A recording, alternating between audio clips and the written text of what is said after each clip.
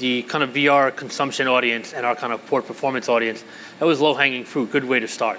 You know, we knew that this they would line up, but then we wanted to branch off of that, right? So we, we, we played to that kind of group, knowing that that's the demo that we wanted to hit, and that we, we, we like to think that we advertise for the few to spread to the many.